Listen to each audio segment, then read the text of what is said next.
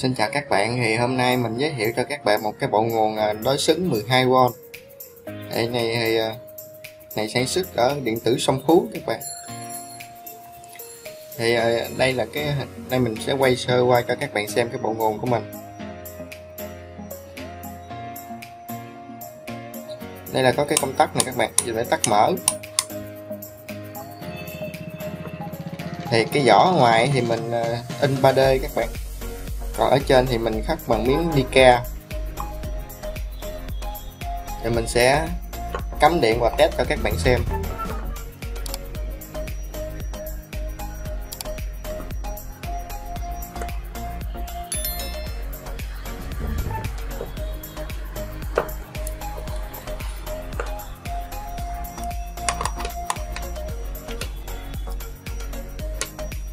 Thì dây điện của cái bộ nguồn này khá dài nên các bạn uh, yên tâm không phải uh, sợ ngắn nha các bạn. Giờ thì mình uh, sẽ cắm điện.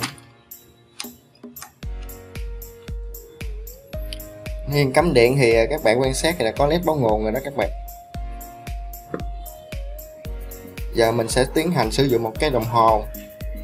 Đồng hồ để mình đo cái giá trị điện áp của cái bộ nguồn của mình ra bao nhiêu nha các bạn trước khi đo thì các mình phải chuyển thang đo về thang đo điện áp DC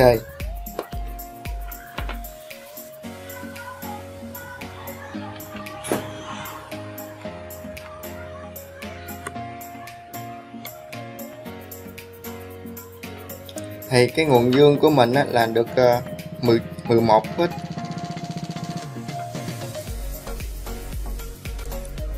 cái nguồn dương của mình được là 11,96V và mình sẽ xem cái nguồn âm của mình. Nguồn âm của mình được trừ 12,35V giờ mình sẽ đo giữa hai cực của cái đầu ngõ ra thì sẽ được 24V đó các bạn. Thì mình đo được là được 24,3V cái này do chưa có tải các bạn có tải thì nó sẽ sụp xuống. Bây giờ mình sẽ tháo ra xem bên trong nó gồm những linh kiện nào nha các bạn.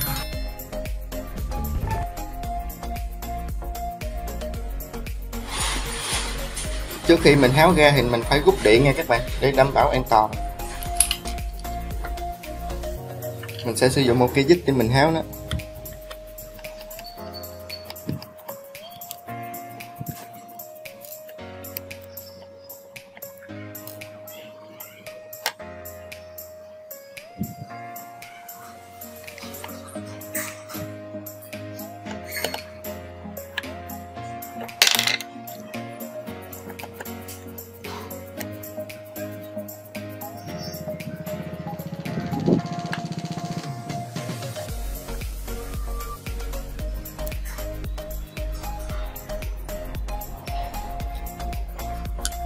thì đây là miếng mica nè các bạn.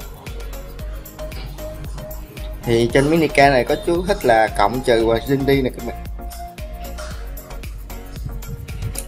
Thì bên trong cái bộ nguồn này thì gồm một cái biến áp một cái công tắc dùng để tắt mở. Và thứ hai là gồm cái một cái mạch nguồn có xứng. Thì à, bên trong của mình á, thì à, sử dụng à, một cái cầu diode hai con tụ đột nguồn và sử dụng hai con IC để ờ, để cố định cái điện áp nó ga các bạn. Và thì bên cạnh đó thì còn có một số như là chở hoặc là tụ ờ, tụ gốm dùng để lọc nhiễu các bạn. Thì có con led. Thì đường link ờ, liên kết mua sản phẩm thì mình sẽ để dưới phần mô tả của video. Các bạn nào có nhu cầu đặt hàng thì có thể vào link vào cái link đó để đặt hàng.